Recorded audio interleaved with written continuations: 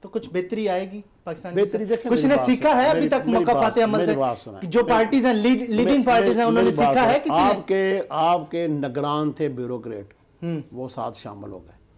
اب کوئی تو تھا نا اس تین سو نو ارب روپے میں اس میں کوئی آفیسر بھی تو شامل تھے نا۔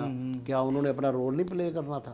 وہ آرام سے اپنا حصہ بقدر جسہ لے کے وہ کیوں ایک طرف ہو جاتے ہیں؟ اچھا ہم نے سارا الزام سیاستدانوں پہ لگایا ہوا ہے۔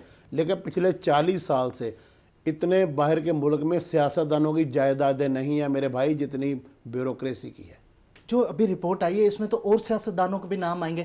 اس کا مطلب سیاستدان اس وقت ہٹ لسٹ پہ ہیں اس ساری صورتحال میں۔ دیکھیں میری بات سنیں۔ بات یہ ہے کہ سیاستدان نے اپنے آپ کو اپنے علمی لحاظ سے اپنے آپ کو اپ گریڈ نہیں کیا اور سیاستدان ان کے ہاتھوں میں کھیلتا رہا بیوروکریٹ کے ہاتھوں میں دانستہ کیا گیا۔ یہ جو ملک صاحب نے بات کی بہت خوبصورت بات کی۔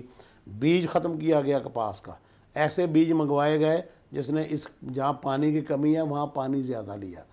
ایسے بیج منگوائے گئے جن کے لیے سپرے لازمی ہو گیا۔ زیادہ ہو۔ زیادہ سپرے ہو گیا۔ الٹیمیٹ اس کو وہی کچھ ملا کاشتکار سے جو چالیس سال پہلے مل رہا تھا اس میں اس کی آمدن میں ان کو تو آٹھ نو من کی وہ بچت بھی نہیں ہو بچت اب نہیں بچت۔ اب دیکھیں نا۔ دیکھیں اچھا کپاس کا اور گنے کا بات کر رہے ہیں نا۔ ٹھیک ہے۔ گنا ظلم ہے۔ اس خطے میں لگانا لیکن ہمارے کیسے ختم ہوگا؟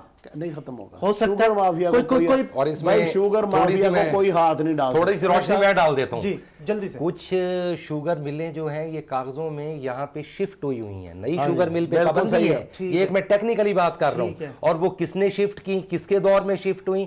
کیسے ہوئی؟ وہ وہاں پہ شفٹنگ ہے۔